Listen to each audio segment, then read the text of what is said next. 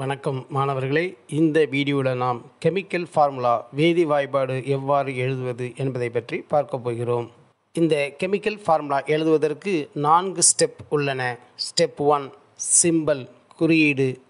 Step two valency இணைதிறன். Step three cross multiply. Step four divisible. அதாவது அதனை வகுக்க முடிந்தால் வகுக்கவும்.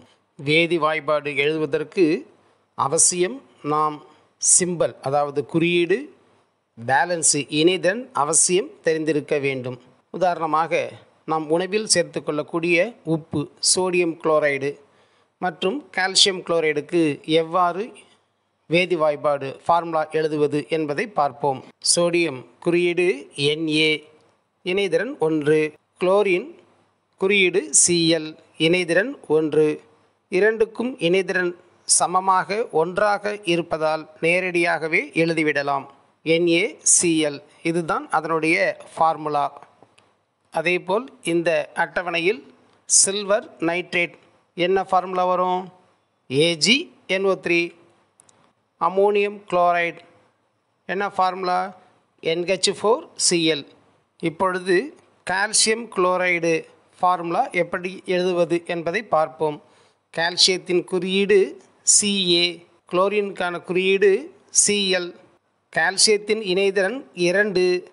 ஆனால் குளோரினின் இணைதிறன் ஒன்று. இவ்வாறு மாறி வருவதால் கால்சியத்தின் இணைதிறனை குளோரின் பக்கத்திலும் குளோரினின் இணைதிறனை கால்சியம் பக்கத்திலும் எழுத வேண்டும். இதனை விரிவாக காண்போம். சோடியம் என்ஏ குளோரின் சிஎல் இரண்டுக்கும் இணைதிறன் ஒன்று ஒன்று.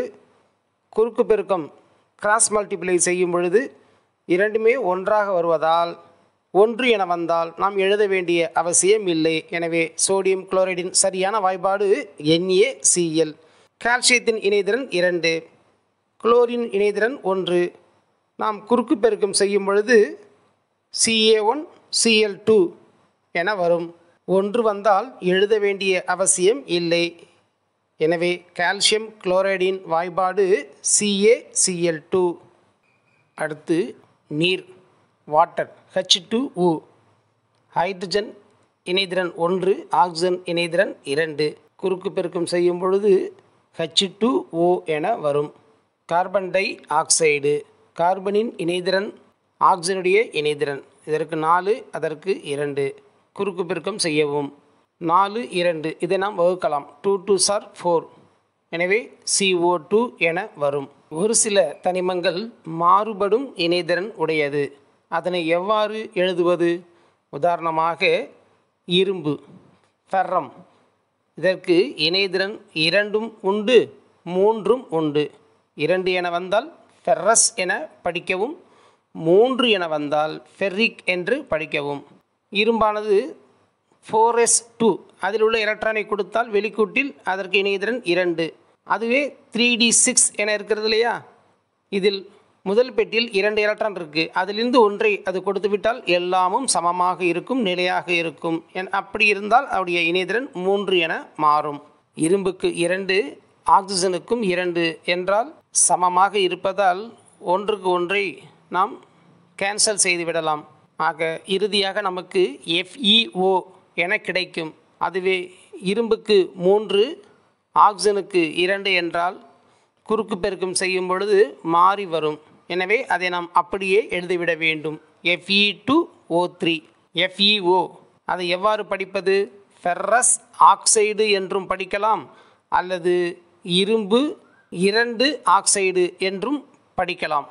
அதை போன்றே எஃப்இ டூ ஓ த்ரீ இதனை ஃபெர்ரிக் ஆக்சைடோ என்றோ அல்லது அயன் மூன்று ஆக்சைடு என்றோ படிக்கலாம். அதாவது ஒரு மாணவனை இரும்பு ஆக்சைடு ஃபார்முலா எழுது என்று சொன்னால் எழுத இயலாது. ஏனென்றால் இரும்புக்கு இரண்டும் இணைதிறன் உண்டு மூன்றும் உண்டு அல்லவா? எனவே அதனை சரியாக குறிப்பிட வேண்டும். இரும்பு இரண்டு ஆக்சைடு எழுத வேண்டுமா? அல்லது இரும்பு மூன்று ஆக்சைடு எழுத வேண்டுமா? அதாவது ஃபெர்ரஸா ஃபெர்ரிக்கா என்று குறிப்பிட்டால்தான் நாம் சரியான வாய்பாடை எழுத முடியும். பின்வரும் வினாக்களுக்கு விடை எழுதி பழகவும். Aluminium chloride calcium phosphate nitrogen oxide phosphorus trichloride stannic hydroxide. இதனுடைய வேதி வாய்பாடை எழுதி பழகவும். இதில் உங்களுக்கு ஏதேனும் சந்தேகம் இருந்தால் இணைதிறனை பற்றியும் சிம்பல் பற்றியும் ஏற்கனவே உங்களுக்கு வீடியோ அனுப்பப்பட்டுள்ளது. அதனுடைய லிங்கை டிஸ்கிரிப்ஷனில் கொடுத்துள்ளேன்.